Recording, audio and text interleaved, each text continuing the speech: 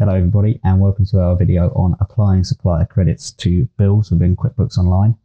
My name is Tom and I'm a cloud accounting specialist here at PJCO and I'll be talking you through how to allocate these supplier credits to the bills.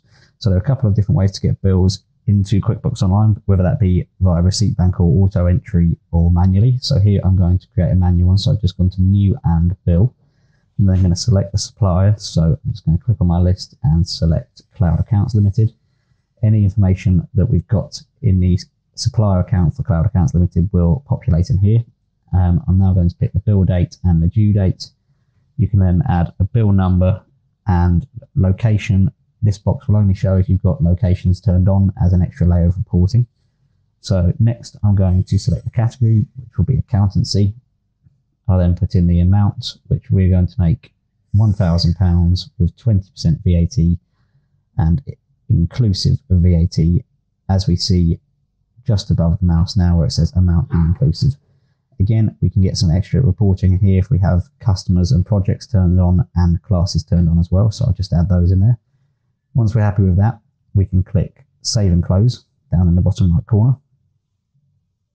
And then the next stage will be to create a supplier credit. So again, this can be inputted via auto entry or receipt bank as well. But for the purposes of this video, I'm going to create a supplier credit within QuickBooks Online. And I'll go to new and supplier credit, select the same supplier, so Cloud Accounts Limited. I'm going to select the date for the supplier credit as today and put the location in there too.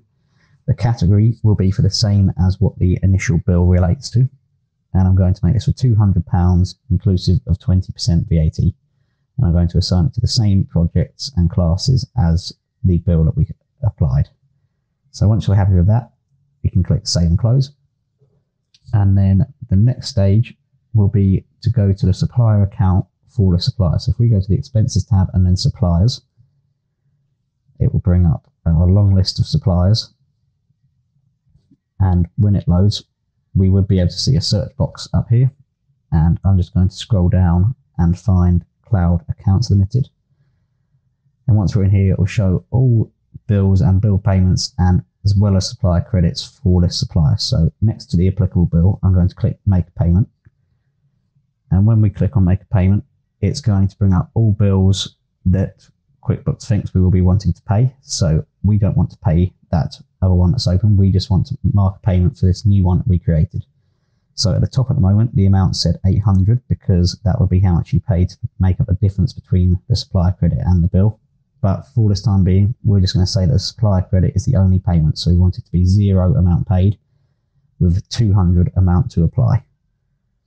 Once we've done that, we can click save and close. And when we go back into the bill at the end, we'll be able to see that one payment has been made against the bill and we've got a remaining balance of £800. Thank you for watching.